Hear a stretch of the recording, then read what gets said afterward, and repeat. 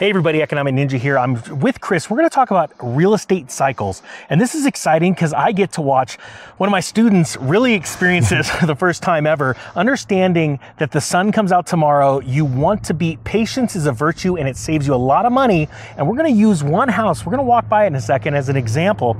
Um, Chris is one of the masterclass, real estate masterclass students. So he's every month uh, joining us for live coaching calls and all that stuff. If you want, uh, he's taken every class I think that I've ever given in real estate. Um, we're giving a deal right now for the next few days, lowest price ever. It includes coaching calls, uh, all the courses I've ever done, and all the future real estate courses I'm going to do. And honestly, I give you zero excuse uh, excuses to save tens of thousands of dollars, right, Yep, Chris? yep. All right. So you wanted to take me out here because you did some research, and this is a neighborhood I actually wanted to purchase in because it has most of these places have dual three car garages with RV parking. I love it. Just Right? about every home. Yeah, and you're you're a dirt biker, you're a racer, you you you like your toys and and you need the storage space just like the Ninja does for cars.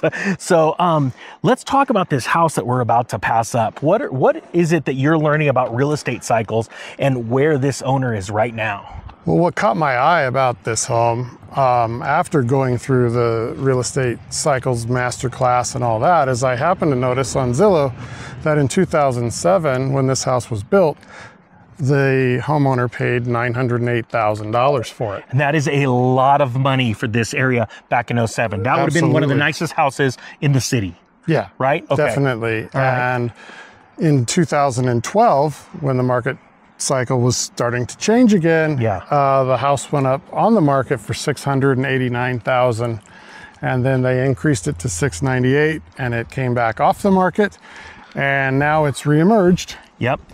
And it's probably more than likely a it was the different did it sell at the 600 price? No. It did not. No. So what's shocking to me is that had to have been then the original owner because if it was a bank that took it over, they would have sold it, right? Yeah, they they would have sold it. It didn't sell. It didn't change hands, didn't change tax numbers or any of that stuff. Uh, so uh, check this out. So I'm gonna, just going to turn around here and show you. This is the back side of the house, and you can see it's got you know a what three car garage with an an ex another structure. It's they're just incredible. Yeah, uh, we're beautiful cruise- area. Yeah, gorgeous area. So we're gonna cruise by it, and so this person obviously in the depths of the Great Recession was asking way less for this house. Now a lot of people would think that they were in trouble, but you know I've taught this in the course where there are times when you pay, let's say, 900 grand for a house, and everything's falling apart all around you. Well, if your house is falling and let's say it's at 700 grand there are homes that were priced at 2 million that are now way less a million dollars. And so it's actually it would actually behoove you sometimes if you had the money to sell at a loss book the loss for your taxes then go and buy the dream house that you have or have always wanted like the the lakefront property in lake tahoe let's say things Right, like that. Right. so so what else are you seeing about these cycles that's interesting? Where where is this house specifically at right now They're asking $1.4 million for it right now. Okay. And what kind of um, competition does this seller have in this neighborhood that you've noticed? Uh, most every single one of these houses are right at 1 million or a little above. That's right. And so he's priced a little high. Ironically, yeah. So it's so where he couldn't sell back in oh was it 2012? 2012. He couldn't sell because probably was not priced aggressively enough. He's in the exact same position. I say he. I don't know if it's a he or she, but um, they're in the exact same position now. They're not aggressively pricing. There's a couple homes without the extra garage, and they're asking four hundred thousand less. Yes. So that's huge. And this house has been on the market for over 100 days. Exactly. And that's massive because usually in this neighborhood, houses are staying on the market between 60 and 75 and they're going pending around 1.1, 1.2 million. Yep. So, what is this telling you? Because uh, you've also probably seen the inventory here is increased about Oh. uh, uh, 2.5 times. At least I think probably three months ago. Yeah. There wasn't a house for sale in here. Or Yeah. if there was, it There was two because I was looking at them. Okay, two. Yeah. Yeah. And now there's probably what, 10 or 11? Yep.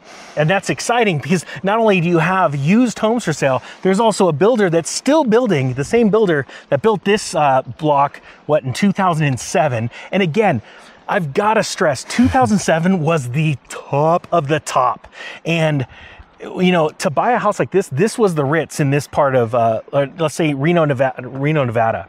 And so he bought at the top, now trying to sell as we've already passed the top and we're going down. Right. It's incredible. So, what are some other things that you're thinking about as you're because you're a home buyer, you want to buy a home, you're already seeing people con- seller concessions both for new homes and used homes. What else are, is catching your eye about what's going on in just the last three months since we started working together?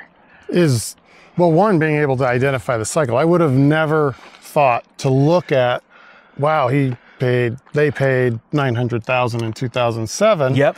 Wouldn't have crossed my mind because I didn't understand cycles. Yeah. So as soon as I saw it, I was like, wow, I got to take a look at this and see if it fits what I've learned in the course. right? Totally, And totally. it absolutely does to the T, especially when he also went to try to sell it at the bottom. Yeah, And exactly. couldn't sell it for two years. Yep. And, so, then went off the market. took it off the market. And so another thing that's really interesting to me is that people don't realize because there are some people that just think real estate's going to keep going up, but all of these people have a ton of equity built into this house.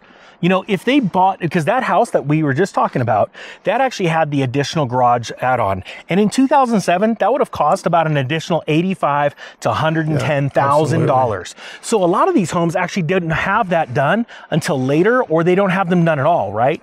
And so there are people sitting on, no joke, 400 500000 dollars worth of equity that they could instantly, if they see things are going bad and they want to get out of town, they could pull the ripcord and drop that price. And you're already seeing sellers drop prices, right? They are, which is what brought us back out here again. Exactly. I just saw a house for 1.2 million. It sat on the market at 60 days. They dropped it 200 grand. And it's still not being shown. And I am like a vulture on this thing because I want to go pick, pick that up around Christmas time because Christmas is one of the best times of year to buy. And it's interesting because you and your wife have made the decision. You're already all in, but you're you know you're you're experiencing some emotions. But one thing that's keeping I think your emotions back, especially your wife, I'll bet, is because she's seeing the price drops too.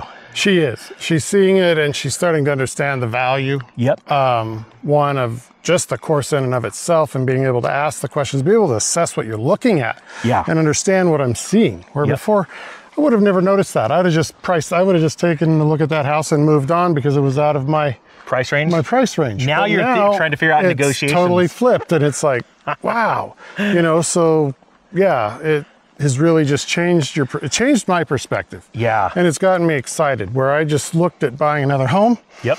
as just being a daunting task that's going to take me away from working on the business, things like that. Yep. To the point where I'm actually excited Yeah. and, looking forward to what is to come. And everyone, I don't want to tell too much about Chris's life, but Chris is actually a very successful entrepreneur, owns a large business, and just found himself in life renting and and just sort of like it just what happened like one day he just went what the heck am i doing Yeah, a lot of it was COVID that kind of took put my head down. I had to do a lot of work and take care of things. And when I looked up, the market was crazy, um, and we missed missed that missed that up little mi- yeah that that time frame.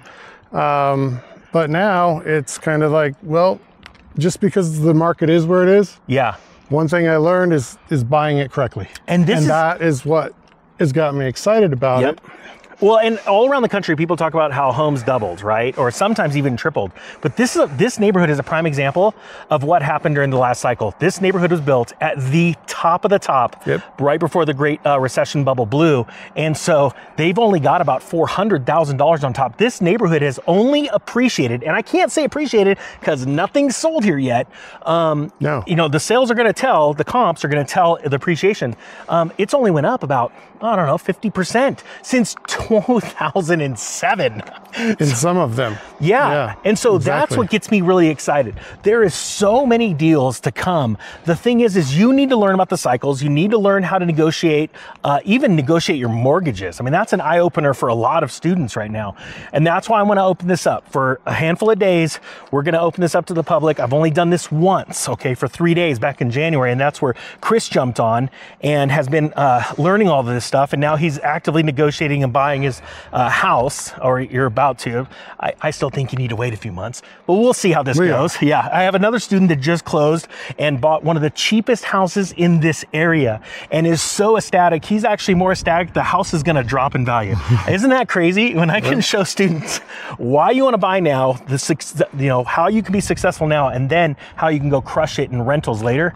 I've done my job. So I'm going to throw that link down there. It's the lowest price we've ever offered. Um, uh, we've only done this once, so it's the same price as we did back then group coaching calls, all that stuff. You will have no excuses after I'm done with you. I'm not joking. And every class in the future I make on real estate, you get for free. So I want to make this a no brainer deal. So go check that link out. Thank you so much, Chris. Absolutely. If these kind of videos help you, please let us know and we'll make more as Chris goes and finds more deals. And this is what helps me when my students are coming back and going, oh my gosh, it's like you said, but I found this and we could talk about it. Mm. So if it's helping you, let me know down in the comment section. We'll make more videos about this.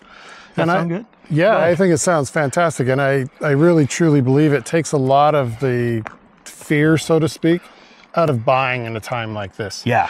Because there's going to be, if you, especially with me, I'm already looking at when's the next rental coming on board, Yeah. um, kind of thing. But at least I know that I have the confidence to buy it right.